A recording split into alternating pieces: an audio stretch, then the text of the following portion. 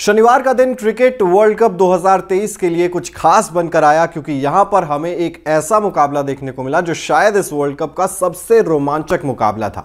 Australia और New Zealand के बीच में धर्मशाला की खूबसूरत वादियों में यह मुकाबला खेला गया। ऑस्ट्रेलिया ने टॉस जीतकर पहले बल्लेबाजी की और उसके बाद उन्होंने स्कोर बोर्ड पर लगाए तीन सौ अट्ठासी रन। ट्रेविस हेड का एक शानदार शतक आया। डेविड वार्नर ने एक बार फिर से अच्छी पारी खेली और इन्हीं दो पारियों की बदौलत और लास्ट में पैट कमिंस का जो तूफ़ान आया उसकी बदौलत ऑस्ट्रेलिया की टीम तीन सौ अट्ठासी रन तक पहुँच गई।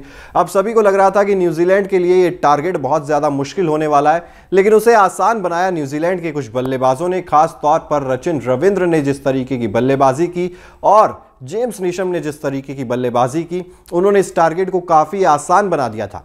अगर न्यूजीलैंड ये मुकाबला जीत जाती तो वो वर्ल्ड कप इतिहास का सबसे बड़ा चेज बन जाता। अभी तक किसी टीम ने तीन सौ अट्ठासी रन चेज नहीं किए थे, लेकिन क्यों आखिर न्यूजीलैंड की टीम चूक गई सबसे बड़ा टारगेट चेज करने के लिए? वो क्या गलती थी जो न्यूजीलैंड को भारी पड़ गई और न्यूजीलैंड इस मुकाबले को पाँच रन से हार गई? इस वीडियो में उसी के बारे में बातचीत करने वाले हैं।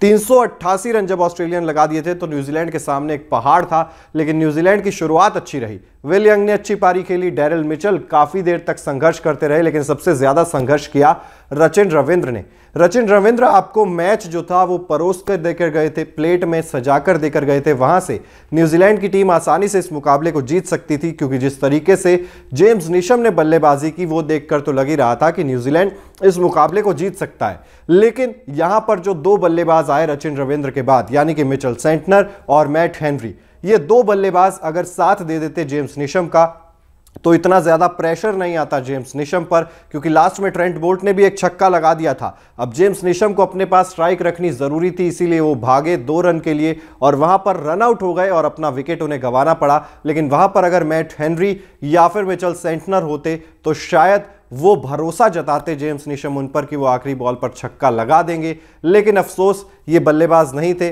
दूसरे एंड पर ट्रेंट बोल्ट ही खड़े थे और दो रन यहाँ पर लेने ज़रूरी थे, इसलिए उन्होंने दो रन लिए। यहाँ पर देखने वाली बात यह भी थी कि अगर वो साथ देते तो कुछ रन और जोड़ लेती न्यूजीलैंड की टीम और इतना ज़्यादा डीप शायद फिर यह मुकाबला ना जाता।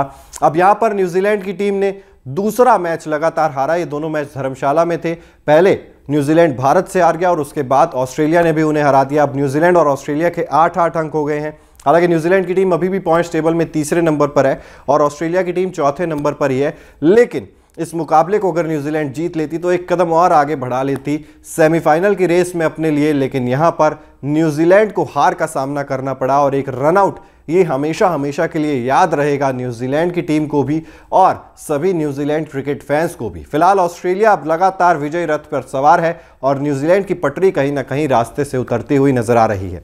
इस मैच में आपको क्या लगता है? कौन सा था वो टर्निंग पॉइंट जहाँ पर मैच बदल गया? क्या न्यूजीलैंड इस मुकाबले को जीत रही थी और जीता हुआ मैच न्यूजीलैंड हार गई? कमेंट बॉक्स में ज़रूर बताइए। अगर आपने अभी तक न्यूज़ नेशन को सब्सक्राइब नहीं किया है तो जल्द से जल्द सब्सक्राइब भी कर दीजिए। साथ ही बेल आइकन ज़रूर प्रेस कर दीजिए ताकि देश और दुनिया से जुड़ी हर खबर सबसे पहले आप तक पहुँचे। देखते रहिए न्यूज़ नेशन